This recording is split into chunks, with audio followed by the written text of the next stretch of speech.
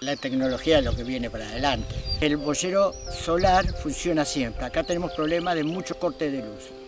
El otro día, por ejemplo, con el fuego se cortaron durante tres días y los animales, viste, se respetan, pero hasta ahí nomás. Cuando ven que no hay corriente, cruzan. Recibimos un bollero hace varios años ya, que estábamos listas. No tomaron como no tenemos luz. A mí me cambió bastante porque puedo llegar a tener más tiempo.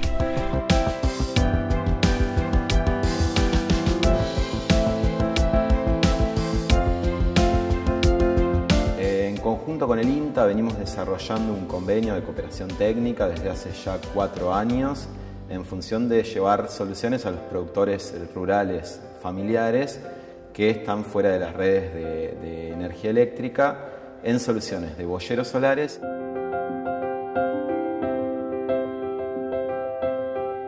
Los bolleros vienen a, a, justamente a tecnificar un proceso que es sumamente laborioso en la agricultura familiar porque por lo general los productores tienden a seguir pastoreando, ¿no? acompañando, a cuidar el ganado y eso lo hacen mujeres y niños y de esta forma se racionaliza este trabajo, se alivia el tiempo de, de acompañamiento a los animales.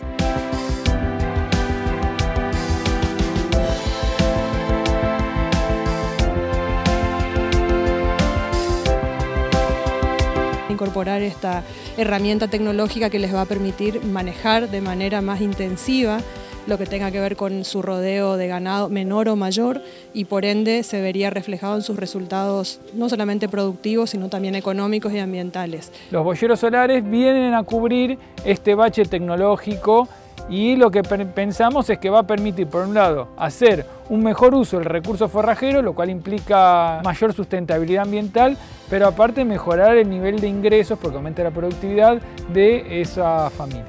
Con la pantalla solar es mucho más fácil, es, se coloca, se coloca la pantalla y ya funciona el alambrado.